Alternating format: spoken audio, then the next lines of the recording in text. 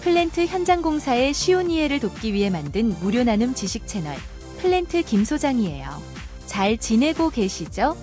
이번 시간에는 최근 플랜트 화학 산업이 심각한 위기 상황이라고 합니다. 현재 석유화학 산업이 직면한 상황과 앞으로의 돌파구는 없는지 살펴보는 시간을 갖도록 하겠습니다.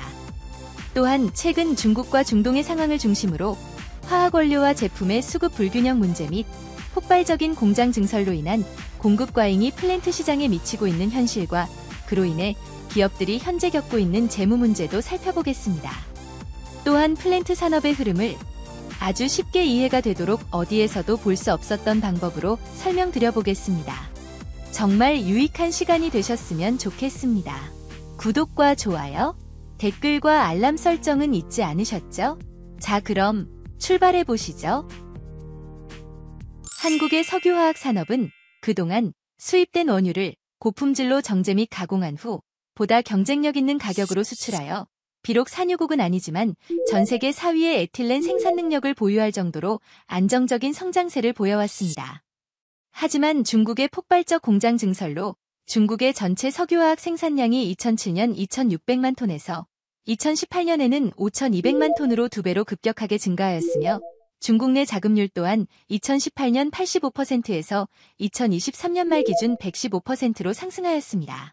이는 중국 내 공급 과잉으로 자국 내 수요처를 찾지 못한 잉여 물량들을 재고 처리하듯 저가로 해외로 밀어내면서 상대적으로 단가가 높은 대한민국 석유화학 제품의 수요처 감소로 인해 최근 들어 공장 가동을 중단하는 사태까지 발생되어 이대로 가다가는 대한민국 석유화학 기업들의 경쟁력이 상실될 위기에 처해진 상태입니다. 또한 석유화학 산업뿐만 아니라 대한민국의 기간 산업으로서 경제의 견인차 역할을 했던 철강 산업도 마찬가지로 중국의 과잉 공급과 저가 공세를 이겨내지 못하고 국내 굴지의 철강 회사들이 하나둘씩 공장 가동을 중단하고 있는 실정입니다.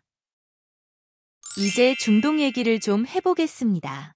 사우디아라비아 국영 석유 회사인 아람코가 2025년 가동을 목표로 해서 서부 메디나주에 짓고 있는 세계 최대 정유 석유화학 통합 공장은 원유에서 납사를 추출한 후 여러 공정을 거쳐서 석유화학의 쌀로 불리는 에틸렌과 같은 기초유분을 생산하는 기존 공정과는 달리 원유에서 원스톱으로 곧바로 기초유분을 생산해내는 COTC, Crude Oil to Chemicals 방식으로 석유를 뽑아낸 바로 그 자리에서 곧바로 석유화학 최종 제품의 원재료가 되는 기초유분을 만들어내기 때문에 기존에는 원유를 다른 나라로부터 수입하는 과정에서부터 추가되는 운송료와 관세가 발생되지 않습니다. 이로 인해 생산 단가는 중국보다도 더 저렴하며 에틸렌 기준으로 한국의 약 3분의 1밖에 되지 않을 것으로 전망하고 있어서 LG화학, 롯데케미칼, 한화솔루션 등 국내 굴지의 석유화학 제조업체들조차도 이를 극복하기 매우 힘겨운 상황입니다. 여기서 잠깐 COTC 방식이 뭔지 한번 설명드려보면 Crude Oil to Chemical. 그대로 해석하면 원유에서 곧바로 화학 제품이 된다는 의미입니다. 즉, 원유에서 원재료를 만들 때 신기술로 그 중간 과정들을 모두 간소화시켜서 원스톱으로 만들 수 있는 방법이라는 것입니다. 다시 말씀드리면 에틸렌과 같은 석유화학 최종 제품의 원재료가 되는 기초 유분을 원스톱으로 곧바로 만들어내는 공정을 COTC라고 이해하시면 되겠습니다. 여기서 기초유분이라는 용어도 한자 단어를 하나씩 풀어서 보시면 전혀 어려운 단어가 아닌데요. 기초가 되는 기름 성분이라는 말입니다. 즉, 석유화학 최종 제품을 만들기 위한 기본 원재료를 기초유분이라고 이해하시면 되겠습니다. 이해하기 쉽도록 밀가루에 비유해서 석유화학 공정을 설명드려 보겠습니다. 원유에 해당하는 바로 수확한 밀을 탈곡과 여과 및 정제 과정을 거쳐서 기초유분에 해당하는 원재료인 밀가루가 얻어집니다. 그런 다음 이 원재료인 밀가루의 다른 성분들과 혼합하면 석유화학 최종 제품처럼 라면과 빵, 과자가 만들어지게 되는 것입니다. 자, 그러면 밀가루에 해당하는 원유로부터 여러 기초유분들 중에 하나인 에틸렌을 만드는 공정을 기존 방식과 COTC 방식이 어떻게 다르길래 COTC 공정으로 생산된 원료의 단가가 월등히 저렴한 것인지 한번 비교해 보겠습니다. 한국이 위기에 빠졌다라고 하는 이유가 바로 이 기존 방식을 이용한 NCC 납사분해 설비 공정이기 때문인데요. 즉, 원유를 증류탑에서 분별 증류를 시킨 후에 그 중에서 생산되는 납사를 이용해서 최종 에틸렌을 생산하는 방식으로 국내 플랜트 석유화학 공장들이 가동되고 있다는 것입니다. NCC라는 용어에 익숙하지 않으시다면 여천 NCC는 한 번쯤 들어보셨을 텐데요. 이름에 걸맞게 여천에 있는 납사를 분해해서 기초유분을 생산하는 설비 공장이 되겠습니다. 보시는 바와 같이 원유에서 중간 과정인 납사를 얻은 이후로도 열분해, 급냉, 압축, 정제의 여러 공정을 거쳐서야 비로소 기초유분에 해당하는 라면, 빵, 과자 등의 기본 원재료가 되는 밀가루가 만들어지게 됩니다.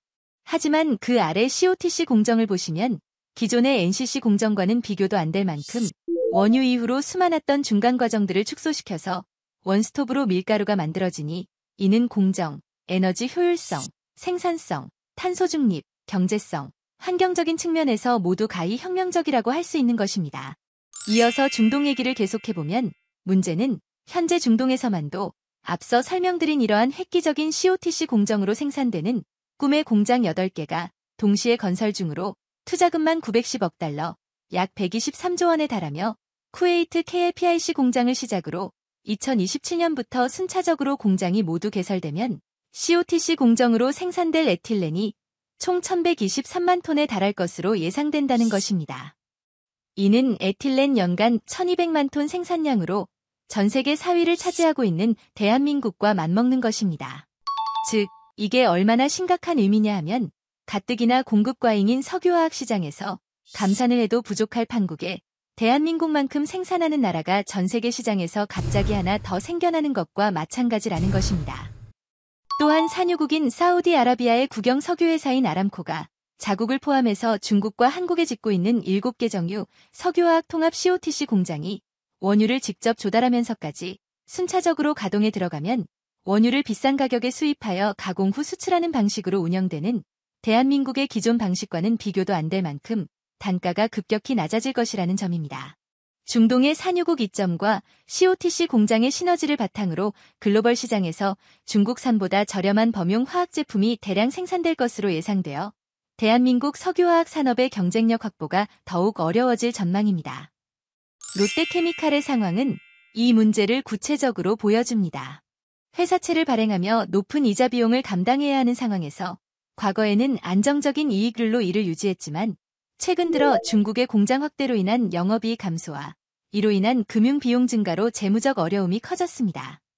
2021년 영업이익은 2조 원 이상으로 안정적이었지만 최근 3년간 이자 비용 대비 이익률이 급격히 떨어져서 2024년 3분기 기준 0.9배를 기록하여 무보증 사채에 대한 기한이익 상실 사유가 발생하게 되었습니다. 이게 무슨 의미인지 쉽게 설명드리면 돈을 빌릴 당시 채권자에게 이자를 내야 할 비용보다 항상 5배 이상 돈을 더 벌어서 채무자를 안심시켜 드리겠습니다. 라고 한 약속을 지키지 못했다는 것입니다. 기한이익 상실 사유가 발생했다고 해도 채권자와 채무자 서로 간의 협상이 가능합니다. 하지만 채권자는 원금 회수에 대한 불안감이 더 커졌기 때문에 채권에 대한 조기 상환을 강제할 권한이 있으므로 만기 이전에 언제든지 돈을 갚으라고 상환을 요구하면 롯데케미칼은 이를 따를 수밖에 없는 상황에 있다라는 것입니다. 그래서 요즘 롯데월드 타워를 담보로 제공한다는 이유는 쉽게 말씀드려서 우리 회사 자산 많으니까 걱정 마세요. 하고 채권자들을 안심시키기 위한 것입니다. 즉, 롯데케미칼에 불거진 유동성 위기설을 불식시키고 회사채에 대한 신용을 보강하기 위한 조치인 것입니다. 또 하나 우려스러운 부분은 전 세계적으로 에틸렌 생산량이 공급 과잉인 현 시점에서 하나로 5.4조 원이 투입된 인도네시아의 기존의 NCC 공정으로 연간 에틸렌 100만 톤을 생산하는 공장인 라인 프로젝트가 2025년 완공을 목표로 현재 건설 중이라는 것입니다. 가뜩이나 자금 문제가 불거진 상황에서 투자금이 더 투입되어야 한다는 것과 완공 이후에도 에틸렌의 판매처를 찾지 못할 가능성이 높아서 최근엔 완공 후 매각을 할 것이라는 기사까지 나오고 있는 상황입니다. 하지만 최근 투자자들을 위해 회사채의 안정성을 강조하기 위해 자금 조달 방안에 대해 적극적인 설명회를 개최하였고 미래 신사업 육성 등 사업 포트폴리오 재편을 추진 중에 있어 기대가 예상되는 부분입니다. 석유화학 제품이 전 세계적인 공급 과잉 및 환경오염의 주범이 된 이 시대에 대한민국의 석유화학 기업들은 어떻게 대응하는가에 따라서 생존을 넘어 미래를 선도하는 주역으로 도약할 절호의 기회를 맞이하고 있습니다.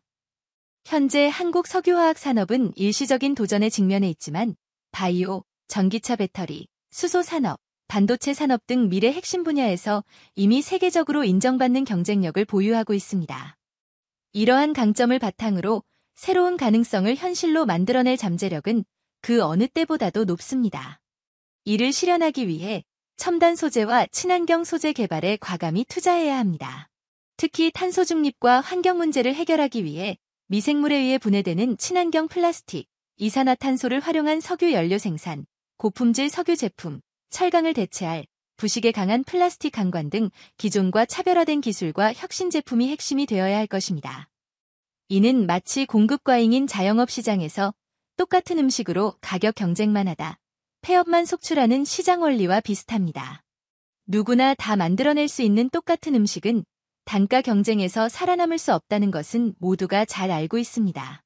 이럴 때일수록 길게 줄을 서서 먹는 음식점처럼 소비자의 니즈를 최대한 반영해서 비록 원재료는 같을지 모르지만 독창적인 비법과 레시피를 고안하고 차별화된 메뉴를 개발해서 우리 가게에서만 먹어볼 수 있는 맛있는 음식으로 단골 고객을 계속 늘려가야만이 험난한 경쟁에서 앞으로도 계속 살아남을 수 있는 것입니다.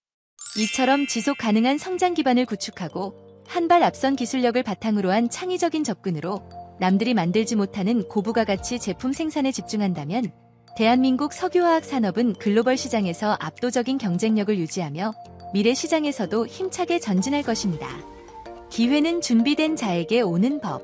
대한민국의 석유화학 산업은 위기를 발판 삼아 새로운 도약의 시대를 열어갈 것입니다.